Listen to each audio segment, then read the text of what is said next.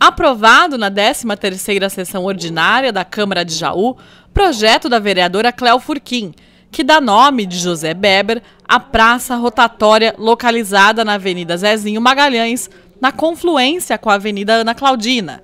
Aprovada também moção de congratulações e aplausos do vereador Toninho Masson ao Grupo Corredores Unidos de Jaú, Coruja, pelos trabalhos sociais desenvolvidos na cidade e também pelo seu quinto aniversário.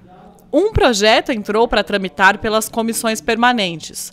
O texto de autoria de Tuco Bauab pretende obrigar estabelecimentos públicos e privados a inserir o símbolo do autismo em placas de atendimento prioritário.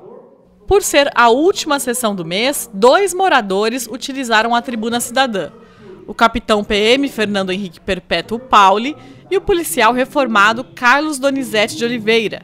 Os militares falaram sobre o programa Vizinhança Solidária, que tem como objetivo melhorar a segurança pública nos bairros, promovendo ações preventivas com a parceria entre moradores e polícia militar. A 13ª sessão da Câmara foi antecipada devido ao ponto facultativo e feriado de 1 de maio. O presidente da Câmara, Lucas Flores, encerrou os trabalhos por volta das 11h30 da manhã.